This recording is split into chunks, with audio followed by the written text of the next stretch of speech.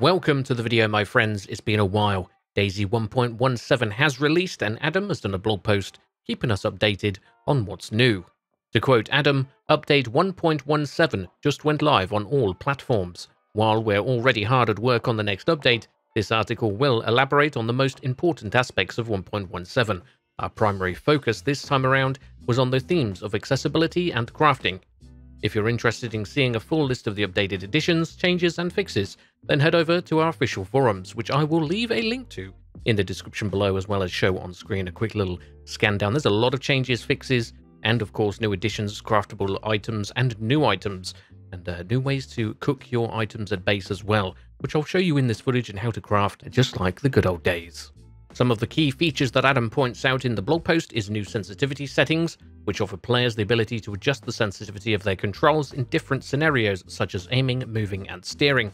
Another important part of the update is revised existing control scheme for controllers and console users, and the addition of an alternative control scheme. A large bug fixing pass on a variety of control related issues, which enables the team to resolve some long standing issues with the existing scheme. The team have also looked into VoIP and quality of life improvements to the UI, such as icons being shown only when transmitting while having the new voice activation mode enabled, and release delay for the push to talk mode, and the ability to change the VoIP distance on a controller.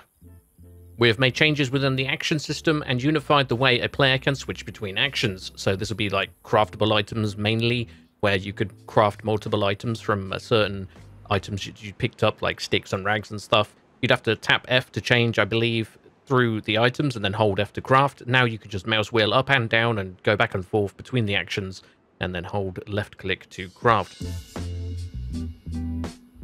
Crafty survivors can now make an improvised gas mask filter from a water bottle, which actually looks pretty cool. A belt out of a piece of rope and a knife,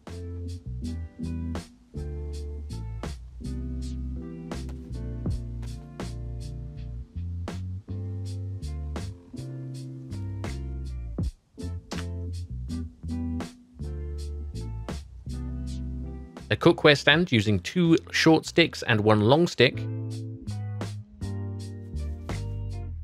And then you can attach this to a fireplace, which then you can use a cooking pot to hang onto this stand over your fireplace and boil your water or your food.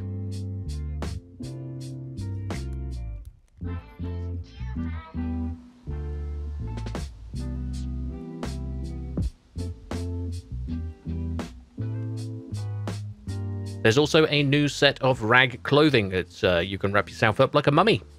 To craft the new improvised clothing, you will need six rags, a full stack of six rags to craft the torso and legs, and for the other extremities, just two rags to craft the headpiece, facepiece, as well as the hands and feet parts of the improvised clothing. There are also 12 inventory slots on the torso and leg parts of the improvised clothing.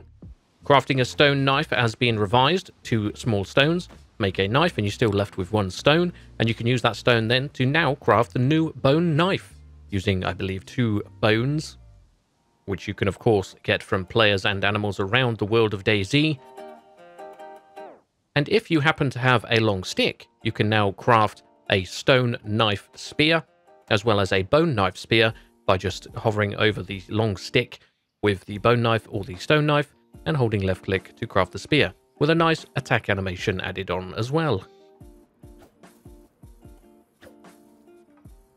There's also some new non-craftable melee weapons that have been added, such as the Meat Tenderizer, which works as a weaker hammer, a cleaver, and a pitchfork, which has the same animations as the craftable spears, but it does look pretty nice, and goes scarily well with the improvised mummy clothing. And as for weapons, we have a new selection of civilian firearms, and this includes the CR550 Savannah rifle.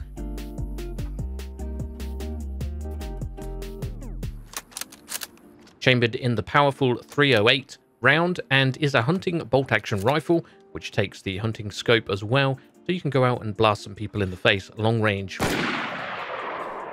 As well as the 308 Longhorn, which is one of my favorite all times, has come back to DayZ, and the legendary P1 9mm pistol as well, as you can see on the screen here.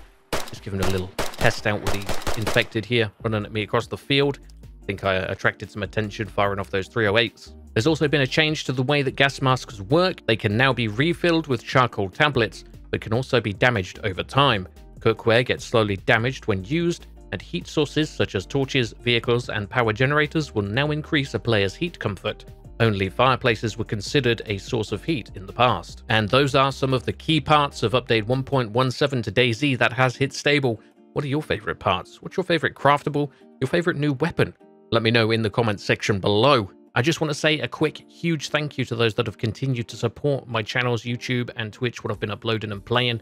I know I've took a bit of a backseat with the DayZ development and update videos are concerned, as well as stories and PvP and stuff like that. I've gone to my backlog and uh, been going through the FromSoft series, and I got addicted to Elden Ring, and I have four kids and stuff like that. So family's been a, a big part of life. I am still keeping an eye on development of DayZ, and I'll try and get these videos out when I can. So let me know in the comments section below if you enjoyed this video. These do take a while because I do like to put them out as high quality as I possibly can. They're not they're not easy to make, so I have to try and find the time. But uh, let me know in the comment section below. Leave a like as well. Get this video out there, and it also lets me know if you you enjoyed the video and you want to see more. Subscribe, and these will come out, but I will be doing other content still also because I'm enjoying other games. I've played DayZ for nearly 10 years, if not 10 years now. It's uh it's been a while, and I played nothing but DayZ for, for many of those years. So I'm enjoying playing some other stuff for a change. It's good for my mental health. Let's just put it that way.